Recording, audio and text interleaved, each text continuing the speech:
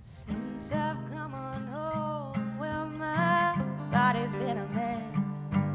And I miss your ginger hair and the way you like to dress. Won't you come on over?